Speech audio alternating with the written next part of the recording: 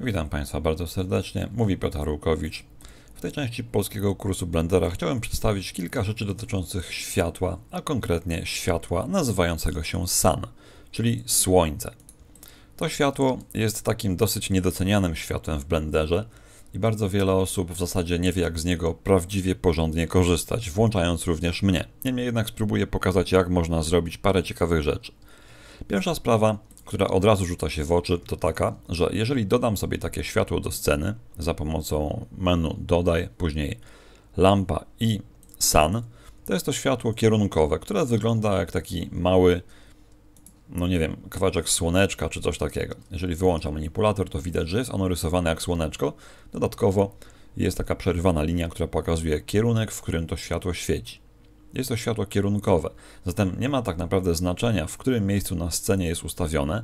W obu przypadkach, czy też we wszystkich przypadkach w tym moim tutaj układzie będzie ono świeciło dokładnie tak samo. No i render, który dostanę, będzie wyglądał niezbyt ciekawie. Na scenie mam plana, który jest jednolicie oświetlony. Teraz przygotuję może scenę, na której będą jakieś góry lub jakiś taki bardziej skomplikowany obiekt, aby pokazać, co dokładnie z tym światłem można jeszcze zrobić ponieważ w panelu ustawień tego światła jest całkiem sporo różnych opcji, które są dosyć tajemnicze. I tak mamy zwykły panel o nazwie lampa, którego opcje są wspólne ze światłem typu point. To już tłumaczyłem w tutorialu na temat światła punktowego. Natomiast dochodzą jeszcze dwa panele, czy też jeden panel, który nazywa się Sky and Atmosphere. To jest panel, który oznacza niebo oraz atmosfera i tam mamy opcje dla nieba oraz dla atmosfery. No i teraz o tych opcjach właśnie chciałem pomówić, ale aby to było można sensownie pokazać, to przygotuję sobie taką niewielką scenę, na której zaraz przetestujemy kilka ustawień. Aby przygotować jakąś scenę z górami, na początku włączę sobie wtyczkę, która dodaje mi góry na scenę. Taka wtyczka znajduje się w panelu ustawień na zakładce Add-ons i teraz jest taki, taki panel, który nazywa się Add Mesh, czyli dodaj siatkę, dodaj mesha. Jest tam coś takiego jak wtyczka, która nazywa się ANT Landscape czyli dodawanie landscape'u. No i wystarczy włączyć checkboxa, aby ta wtyczka działała. Landscape to innymi słowy krajobraz. Naciskam teraz Shift A, wybieram polecenie Mesh ADD i na samym dole pojawia mi się nowa opcja o nazwie Landscape. I ten Landscape to jest gotowa góra, którą jak widać dodałem jednym ruchem. I oczywiście można stuningować, czy też ustawić sobie prawidłowo wszystkie opcje, które chciałem, aby tutaj one były. Więc w takim razie poprawię troszeczkę działanie tej mojej wtyczki na zasadzie takiej, że zmienię trochę generator. Zamiast używać generatora multifractal, użyję sobie generatora turbulence i to powoduje mi, że mam no, taką całkiem ciekawą górę. No i taka góra mogłaby być, z tym, że zmienię sobie jeszcze ilość, czy też rozmiar tego mesza, na przykład na 50, niech on będzie duży, potrzebuję dużego obszaru. I teraz widać rozciągnąłem, więc góry znikły. Więc podzielę sobie jeszcze na przykład na 120 może nie 120, na 64 podziały. Dodam wysokość rzędu, no może zamiast wysokości na początku zmienimy sobie pletał, czy jak to się powinno mówić, to jest ograniczenie wysokości do 30 i teraz wysokość podniosę, no choćby tak do 5 może, do 10. Myślę, że 5 mogłoby nawet wystarczyć. Cała reszta w zasadzie mnie interesuje. Może zostać tak jak jest i te góry będą służyły mi za przykład krajobrazu. Dodam w takim razie modyfikator Subsurf jeszcze, no powiedzmy sobie jedno poziomowy i to jest moja scena. Moja scena wygląda z kamery na razie tak dosyć nieszczególnie, ponieważ kamerę mam, o tutaj, może usuńmy to światło, kamerę na drugiej warstwie mam, przeniosę ją na pierwszą warstwę, odsunę troszeczkę od tych moich gór i ustawię w taki sposób, aby można było patrzeć na góry. Z jednej strony pod jakimś niewielkim kątem, zerkając sobie w górę. Po to robię takie ustawienie, aby można było zaobserwować, jak zmienia się głębia obrazu, czy też jak fajnie lub nie fajnie wyglądają góry. Z pewnej odległości. Zmienię także ogniskową kamerę, aby łapała nieco szerszy obraz i jeszcze przybliżę do sceny. To będą moje góry. I teraz, aby te góry było sensownie widać, ustawię kamerę tak, aby część obrazu była, mniej więcej połowa obrazu była górami, no a połowa będzie niebem. No i teraz jeżeli zrobię render z tym moim światłem typu sun, to dostaję jakieś takie średnio wyglądające góry, ale takie też się będą nadawały. No i teraz ustawienia, które w tym świetle można zmienić, które dotyczą ustawienia nieba tak naprawdę, włącza się przyciskiem znajdującym się przy opcji Sky. Powoduje to, że natychmiast podgląd zmienia się z takiego szarego, który był poprzednio, zwykłego białego koloru, który mam ustawiony, na jakiś ładny niebieski. Jeżeli teraz zrobię render, to dostanę piękny niebieski kolor nieba w dodatku z horyzontem, który jest troszeczkę rozjaśniony. Czyli dzieje się dokładnie tak, jak widzimy to normalnie wyglądając gdzieś tam w przestrzeń, pod warunkiem, że oczywiście nie widać jakichś przeszkód w tej przestrzeni. Światło na powierzchni horyzontu, czy też nad horyzontem, rozprasza się nieco silniej niż to, które spada na nas bezpośrednio z góry. W związku z tym kolor tego światła jest również bardziej szary niż ten, który leci z góry. To, dlaczego niebo jest niebieskie, pozostawiam do odkrycia już we własnym zakresie. Jest to dosyć ciekawa historia. Polecam poszukać po sieci, dowiedzieć się albo samemu wykombinować. No i teraz ustawienia, które tutaj mamy, są dość szczegółowo opisane na Wikipedii Blenderowej. Mamy tam całą informację na ten temat i są podane również różne przykłady. Jest także wyjaśnione, jak to światło ustawić i zaraz sobie takie coś zrobimy. Później opisane są wszystkie opcje i mamy różne przykłady ustawień. Jak już po tych obrazkach widać, można wygenerować całkiem ładnie wyglądające krajobrazy, bardzo różniące się oświetleniem. Na przykład noc, całkiem czarny ekran, całkiem czarny render, jest czarny dlatego, że jest jedynym światem Sun, a Sun teraz świeci w zupełnie drugą stronę. Znajduje się jakby po drugiej stronie Ziemi, a więc jest ciemność. Możemy także dodać sobie atmosferę i ta atmosfera będzie generowała nam taką mgłę, czy też takie rozproszenie atmosferyczne światła, które powoduje, że obiekty dalsze są troszeczkę zamglone. Jeżeli widzieliście kiedyś w oddali rosnący las, to on zawsze wydawał się taki trochę jaśniejszy, szary bardziej, dlatego właśnie, że powietrze rozpraszało światło biegnące od tego lasu do naszego oka. Różne ustawienia tutaj są podane, nie będziemy wszystkich sprawdzać, pokażę tylko mniej więcej co znaczą, jak można je pozmieniać. Na same szczegóły, jakby dokładne ustawienia można sobie doczytać z tej strony.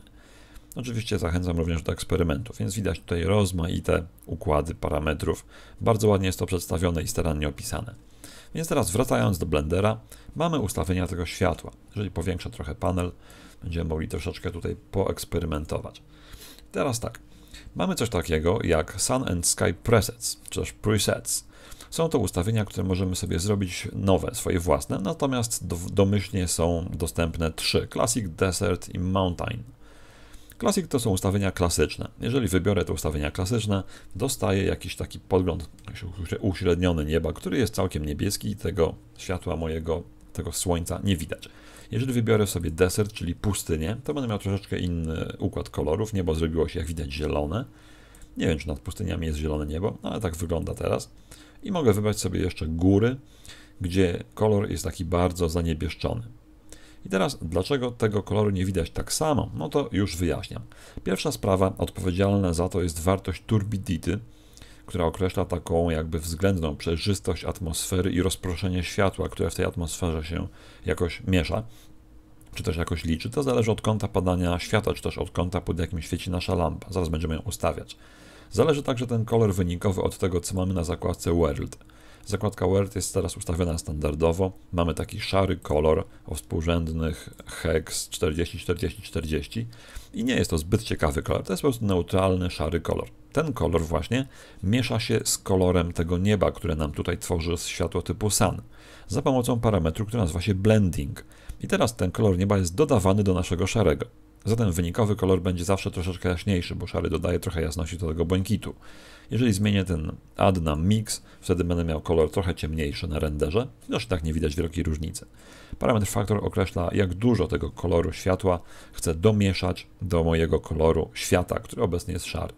Dobrym wyjściem jest ustawić ten szary kolor świata na jakiś ciemny granat na przykład i wtedy robić render. Akurat znowuż widać, że nie ma wielkiej różnicy, no ale czasami może być taka różnica, wtedy widać. I teraz tak, te parametry, które mam tutaj, wydają się takie dosyć losowe i mogą być zaskakujące dla niektórych. Dlaczego nie ustawia się to, co widać na podglądzie na przykład? Dlaczego nie ma tej jasności? A chodzi o to, że ważny jest tutaj kąt padania promieni światła. W chwili obecnej kamerę mam ustawioną w jednej części sceny, natomiast światło sobie świeci pod jakimś tam kątem prosto w dół. To światło świeci pod kątem, gdybym miał być ścisły 19 stopni na osi Y. I teraz właśnie o ten kąt chodzi tutaj. Jeżeli światło będzie miało kąt zresetowany i będzie świeciło centralnie w dół, to będzie sytuacja odpowiednia taka jak na przykład południe na równiku, ponieważ tam światło również w pewnych okresach roku świeci prostopadle w dół. Jeżeli teraz zrobię render, dostanę maksymalną intensywność koloru niebieskiego. Jeżeli natomiast światło będę przekręcał pod pewnym kątem i robił rendery, to szybko się okaże, że ten kąt ma znaczenie. No i teraz widać, że światło na moich górach już się powoli przekręca. Ok, spróbuję jeszcze bardziej przekręcić, zobaczymy, czy będzie coś widać. Widać, że ta intensywność jakby tutaj zaczyna spadać. Jest to zjawisko, które jest związane no właśnie z tym parametrem turbidity. Chodzi o to, że jeżeli słońce zaczyna świecić pod pewnym kątem, to wtedy najczęściej znajduje się niewysoko nad horyzontem. Wtedy cały kolor nieba ulega przyciemnieniu. Niebo robi się coraz ciemniejsze, granatowe, tak jak to się dzieje podczas zachodu słońca. Natomiast to, co jest nad horyzontem, ten obszar światła nad horyzontem staje się coraz szerszy i coraz jaśniejszy, zmierzając oczywiście ku kolorowi czerwonemu. Przechylę to światło jeszcze bardziej, tak żeby było prawie że poziome i to już mi całkiem zmienia kolory na takie bardziej zachodnie, bardziej mroczne. A jeżeli będę to światło przekręcał jeszcze bardziej, to zacznę otrzymywać niebo coraz bardziej nocne. I to jest niebo, które byłoby już gdzieś tam po zachodzie słońca, wtedy kiedy słońce znajduje się dużo pod horyzontem. Taki miałoby prawdopodobnie odcień. Jeżeli ustawię światło prostopadle, świecące do góry, w tym momencie jakoś tak to będzie wyglądało, to otrzymam niebo bardzo ciemne. No i oczywiście na moim plane, czy też na moich górach nie będzie świata w ogóle. Tak to właśnie jest w nocy. Mogę jeszcze włączyć ewentualnie gwieździste niebo, gdybym chciał na zakładce World. Tak więc nachylenie światła Sun, jeżeli włączona jest opcja Sun, czy też Sky tutaj, powoduje, że mam symulowany kolor nieba. I symulacja tego koloru zależy od kąta padania promieni słonecznych. Im ten kąt jest mniejszy, im bardziej w pionie do góry, tym mam późniejszą porę dnia. Natomiast obrót światła może być również w innej płaszczyźnie. Obecnie światło świeci prostopadle w dół. Jeżeli ustawię to światło na osi przykład Y pod kątem 45 stopni, tak jak teraz, ok, to Jeden obrót już wykonałem i to powoduje, że moje góry oświetlone są z jakiejś tam strony, niebo jest niebieskie. Natomiast mogę zrobić jeszcze inny rodzaj obrotu światła. Mogę światło obrócić nie tylko w osi Y, ale również w osi Z. Obrót na osi Z zmienia oczywiście kierunek padania promieni słonecznych, ale także zmienia mi aktualnie stronę świata, z której to światło świeci. Jest to taka krzywa symulacja, troszeczkę mało precyzyjna, ponieważ tak naprawdę nie wiem, czy światło siedzi teraz z północy czy z południa, ani która jest godzina. Jest taka wtyczka do Blendera, która pozwala ustawić sobie rzeczywiste geograficzne światło na podstawie godziny, szerokości, wysokości geograficznej oraz daty. No ale tej wtyczki teraz nie będę chciał pokazywać, omawiamy na razie zwykłe światło. Jeżeli ustawię swoje słońce w taki sposób, że ono będzie świeciło mniej więcej w kierunku kamery, to wtedy jest szansa, że to słońce zobaczę. Widać teraz, że tu gdzieś na górze takie słońce mogłoby być. Spróbuję jeszcze je troszeczkę przekręcić, powiedzmy sobie jeszcze bardziej w kierunku kamery. O tak, żeby świeciło bardzo poziomo. I proszę zobaczyć, że teraz mi się obraz bardzo rozjaśnił. Jeżeli słońce będzie świeciło w inną stronę, to będzie tak, jakbym oglądał inną część nieba. Jeżeli będzie świeciło w kierunku odwrotnym do kamery pod dużym kątem, to będę patrzył w to miejsce, w które słońce świeci. Widzę także, że słońce jest za moimi plecami teraz. No i teraz tak. Te ustawienia światła, które kierują się bezpośrednio w stronę kamery, można obserwować i zmieniać na tych wszystkich zakładkach tutaj. Na początku sprawdźmy, jak w takich ustawieniach będzie się zachowywało słońce w modelu Classic. To jest tak jak teraz. Zmienimy sobie teraz na Desert, czy też Desert. Mamy tutaj troszeczkę bardziej fioletowy układ, niebo jest bardziej niebieskie. I mamy także góry. Wychodzi to już takie bardzo mroczne, groźne światło. No i teraz tak, jeżeli będziemy nie dodawali ten kolor, tylko go mieszali, otrzymamy troszeczkę inną gradację. Faktor można podbić aż do dwóch Także dominującym kolorem będzie słońce. No i to słońce w pewien sposób widać. To jest ta plama światła, którą tutaj mam. I teraz ta plama światła jest zdefiniowana przez panel, który określony jest trzema parametrami. To jest panel Sun. Panel Sun określa wielkość słońca, jasność oraz takie jakby wsteczne doświetlenie, czy też doświetlenie światła rozproszonego siedzącego za naszych pleców. I teraz mamy coś takiego jak brightness. Jeżeli brightness zmniejszę do zera, to jest jasność, no to moje słońce zniknie z nieba i nie będzie go w ogóle. Brightness mogę zwiększać aż do wartości 10 i wtedy moje słońce jest bardzo duże i bardzo wyraźne. Przy okazji, jeżeli to słońce będzie świeciło pod kątem 90 stopni na Ziemię, to będzie dużo mniejsze, będzie się wydawało dużo mniejsze. Jeżeli kamerę podniosę trochę do góry i zrobię teraz render, no to widzę tutaj szczyty swoich gór. Widzę intensywny niebieski kolor nieba, a tego słońca jeszcze gdzieś tam nawet nie ma. Musiałbym ewentualnie spojrzeć pionowo w górę, tak myślę, że będzie gdzieś tam, i tu dopiero się zaczyna to słońce pojawiać. Ono jest teraz w zenicie, dlatego że świeci pionowo w dół. I jak widać, jest dużo mniejsze niż poprzednio. Jeżeli teraz ustawiłbym swoją, swoje słońce bezpośrednio w kierunku kamery, to będzie taka sytuacja, jakby słońce zbliżało się ku zachodowi, ponieważ będzie świeciło pod pewnym kątem i to już zmieni jego kolor. Jak widać, słońce jest teraz ogromne. No i rozmiar tego słońca mogę zmienić za pomocą parametru brightness oraz size. Brightness oznacza jasność słońca, weźmy sobie na przykład 2, no teraz jest takie w miarę, a size to jest jego wielkość. Teraz jeżeli będę zmniejszał parametr size, to moje słońce zacznie zanikać. Widać, że staje się takie bardzo rozmyte, no i potem po prostu go nie ma. A więc jednym i drugim parametrem mogę to słońce swoje ukryć. Jeżeli zrobię size duży bardzo, no to o dziwo moje słońce będzie niewielkie. Jest to odwrotny parametr troszeczkę. Ono po prostu jak jest mniejsze, to się rozpuszcza w atmosferze i zwyczajnie znika. To jest związane z rozproszeniem i mglistością atmosfery. W sumie bardzo fajny efekt. Jeżeli teraz spojrzę bardziej na swoje góry, to mam takie mocno rozmyte słońce. Jeżeli chcę, aby było mniejsze, zwiększam mu parametr size, zobaczymy, czy będzie je widać. No, teraz jestem już troszeczkę za nisko patrzący. Jeszcze chwila. O, teraz widać, że już się zaczyna pojawiać. Więc tak to wygląda. Oprócz tego, że mam tego typu parametry, mogę sterować także ustawieniami tego, co jest na moim horyzoncie. Weźmy sobie troszeczkę bardziej jaskrawe, troszeczkę bardziej jeszcze je przechylę w dół. O, teraz je widać ekstra. Natomiast gdybym chciał sterować barwą horyzontu, no to mam od tego dwie wartości określające, jak zachowuje się horyzont. I mam też takiego jak jasność horyzontu. Jeżeli ją zwiększę, to widać, że horyzont zachowuje się bardzo dziwnie. Im jasność horyzontu jest większa, tym jednocześnie ten horyzont jest węższy.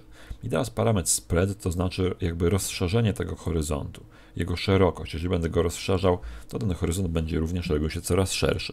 Teraz horyzont znajduje się gdzieś poniżej tych gór, więc go nie widać. Spróbuję rozszerzyć go maksymalnie, jak przy zachodzie słońca. Widać, że słońce teraz zrobiło się takie bardzo dziwne. Jeżeli zmniejszę teraz jasność tego horyzontu, no to zobaczymy, czy coś mi się uda osiągnąć. To mam teraz wszystko pomarańczowe. Jeżeli będę jeszcze bardziej jasność horyzontu zmniejszał, no to on teraz przy tak szerokim spreadzie będzie powolutku się odsuwał, pozwalając, żeby moje niebo robiło się coraz bardziej niebieskie. Przy jasności 1 już widać, że no prawie, prawie go nie ma. Ale teraz jeżeli spróbuję go zwęzić troszkę, chciałbym utrzymać taką wartość, przy której będzie widać, że ten horyzont rzeczywiście jest gdzieś tam niezbyt szeroko, ale to należałoby po prostu odpowiednio dużo razy popróbować. Dlatego odsyłam do tych przykładów, które były na wiki. Spróbujmy jeszcze zobaczyć coś takiego. No tutaj horyzont całkiem wyszedł czarny. Jest to już jakby poza dostępnym zasięgiem światła, taki dziwny kąt padania. W nocy można byłoby kombinować z takim horyzontem. Ale spróbujmy jeszcze podnieść jasność, zmienimy mu kolor. Widać, że tu jest jakaś graniczna wartość zupełnie nieprawdopodobna. To już wygląda bardzo dziwnie. Słońce znikło. Ale gdyby tak go troszeczkę jeszcze pomęczyć, kto wie, czy by coś ciekawego z tego nie wyszło. No jest to jak widać sprawa wielu prób i błędów i pewnego doświadczenia również, które wychodzi później, jeżeli kojarzycie, co robicie. Można szybko wszystko poustawiać, jest wtedy fajnie. Dobra, mamy także jeszcze parę innych parametrów, które są również ciekawe. Na razie może wezmę sobie jakiś desert, żeby mieć standardowe ustawienia słońca, na przykład tego typu. Teraz tak, te parametry, które mamy tutaj jako faktor, pozwalają miksować mi mój kolor słońca z kolorem nieba, to już mówiłem. Natomiast istnieje coś takiego jeszcze jak color space. I ten color space to jest, jak się okazuje, całkiem ciekawa sprawa, ponieważ związane jest to jakby z ustawieniami tego, jak liczone są współrzędne tego świata w stosunku do kolorów, które może dostrzec ludzkie oko. My wiemy, że oko widzi najlepiej takie trzy kolory tylko i to jest zielony, czerwony i niebieski, ale w oku te światłoczułe pęciki czy tam czopki potrafią widzieć po trochu każdy z tych kolorów i po prostu maksimum odbierania każdego koloru jest w różnych miejscach dla każdego rodzaju receptora. No i tak naprawdę te przestrzenie kolorów są opisane na Wikipedii. Przygotowałem tutaj taką stronkę. Pierwszy to jest SMPTE na przykład, co oznacza, niech tutaj zerknę, The Society of Motion Picture and Television Engineer, Engineers. Więc bierze się to, ten kolor stąd. Jak widać, jest on związany z obrazem kontrolnym w telewizji. Warto sobie przeczytać, o co tutaj chodzi. To jest dosyć ciekawe. Ja byłem zdziwiony, że to jest akurat dokładnie to. Natomiast inny model kolorów, który jest wspierany przez Blendera, to jest ten ITUR Recommendation. W skrócie to jest RED 709. Też warto przeczytać, chociaż niewiele na ten temat jest napisane. Jest ładny wykresik. Warto zobaczyć, co to za wykres w ogóle. Wykresy chromatyczne to jest osobny temat. I mamy także coś takiego jak przestrzeń kolorów zrobiona przez International Commission of Illumin on Illumination, CIE. I to był 931 rok, więc dosyć dawno temu, a mimo to nadal to obowiązuje. I z tego co widzę, to ten model światła jest najfajniejszy i najfajniej opisany też. Można zobaczyć, jak reaguje standardowy obserwator na poszczególne kolory, jak wygląda ta przestrzeń kolorów definiowana przez ten model, jak te kolory się rozkładają na wykresach chromatyczności, no i jest nawet troszkę wzorków dla zainteresowanych. Jest nawet jakieś prawo Grassmana. Warto poczytać, żeby rozszerzyć sobie tak zwane horyzonty. Więc polecam. Wszystko to jest ładnie opisane na Wikipedii. Nie sprawdzałem, czy na polskiej też, ale gdyby ktoś chciał pogłębić swój angielski, to zachęcam. I teraz zmieniając te kolory nie widać zbyt wielkiej różnicy, może troszeczkę inaczej wychodzą odcienie, ale z tego co widziałem to ten parametr RED 709 i SMTP są trochę przestarzałe, a więc w sumie zalecałbym używanie tego modelu CIA, tego najstarszego, który w sumie jest chyba najbardziej ogólny. Chociaż trudno powiedzieć, dla ilu stopniowego obserwatora standardowego jest robiony ten model świata. Trzeba sobie poczytać, będzie wszystko jasne. Teraz tak, render w tej sytuacji wychodzi tak jak wychodzi i to co widać to jest tylko kolor nieba z jakimś takim słabo widocznym słońcem, lekko rozmytym, mogę je trochę pomniejszyć jeszcze, ok, żeby je było jakoś tam widać. No, mamy tam słoneczko gdzieś. W porządku, jeszcze trochę podbiję mu jasność, no może trochę jest za duże, ale to już niech tak sobie będzie. I teraz tak, Parametr atmosfera. To jest parametr, który określa, jak atmosfera wpływa na światło, ponieważ Słońce, czy też światło w ogóle, biegnąc przez naszą ziemską atmosferę, nie leci w próżni, a więc doznaje pewnych przeszkód ze strony np. całych ton powietrza, kilometrów czy setek kilometrów powietrza, jeżeli leci blisko nad powierzchnią Ziemi poziomo w kierunku stycznym. I teraz to rozproszenie można sterować, czy też można je zasymulować w Blenderze, włączając sobie checkbox o nazwie Atmosphere. To powoduje, że kolory na naszych górach zaczynają się delikatnie zmieniać. I mamy tutaj różnego rodzaju parametry. Jest coś takiego jak intensywność i mamy tutaj parametr sun, który określa jak bardzo intensywnie świeci słońce na te wszystkie obiekty, które mamy na scenie i mamy także odległość od tego słońca, czyli jest taka wartość jakby, która określa taki wirtualny jakby współczynnik odległości związany z oglądanymi na scenie obiektami. Jeżeli dystans ustawię na dużo, to będzie się wydawało, że te obiekty są bardzo daleko, a więc światło, które jest między mną a nimi, będzie się, znaczy będzie bardziej rozproszone przez atmosferę. I teraz siła tego rozproszenia to jest parametr, który nazywa się scattering. Scattering to jest po prostu rozproszenie i mamy takie rozproszenie jakby naturalne, wynikające z działania atmosfery. I mamy także parametr, który określa ekstynkcję, czyli przepuszczalność atmosfery. Extinction to jest ile światła przechodzi przez atmosferę, a in-scattering to jak bardzo światło się w atmosferze rozprasza. Teraz oba te parametry są równe 1, co oznacza maksymalną wartość. Jeżeli zmniejszę je do zera i zrobię render na drugiej warstwie, no to będzie troszeczkę inaczej wyglądało. Widać teraz, że światło w ogóle nie przechodzi i w ogóle się nie rozprasza. Dostaje idealnie czarne góry, więc wyglądają troszeczkę jak, no powiedzmy sobie, fotografia pod światło. Jeżeli teraz zwiększę sobie parametr in scattering, to spowoduje, że światło zacznie się rozpraszać delikatnie na tych górach i widać tutaj, że pojawiła się jakaś taka mgiełka niewielka. Natomiast jeżeli dopuszczę, żeby światło przechodziło przez atmosferę jeszcze trochę bardziej, to zacznę te góry trochę lepiej doświetlać bezpośrednio swoim światłem lampy. Oba te efekty powodują, że mam w miarę sensownie wyglądającą atmosferę, no i teraz mogę ewentualnie sterować odległością. Odległość, która jest do tych gór na razie jest niewielka, bo wynosi 1, to jest jakaś umowna jednostka.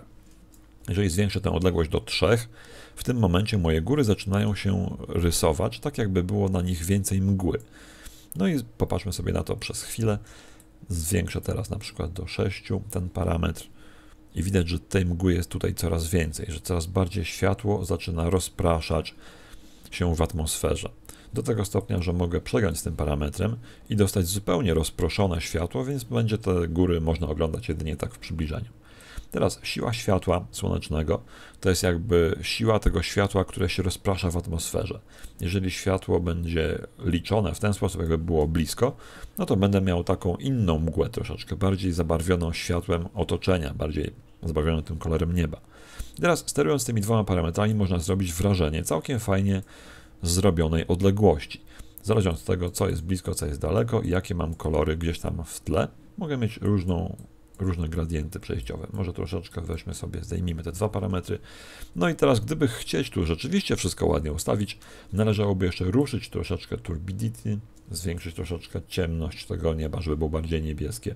Może rozszerzyć trochę horyzont by należało, nie? kombinując i tak dalej, i tak dalej. No teraz to wyszedł jakiś fatalny ten horyzont ale to już jest rzecz znowuż prób i błędów. Dlatego odsyłam do Wikipedii. Tam są różne parametry podane i od razu widać ich końcowy efekt, więc nie widzę teraz sensu, żeby to dokładnie w Blenderze ustawiać i pokazywać. Co więcej, można nawet ściągnąć przykładową scenę, która jest do pobrania w linku podanym na samym początku. Jak przewinę do góry, to będzie gdzieś tutaj.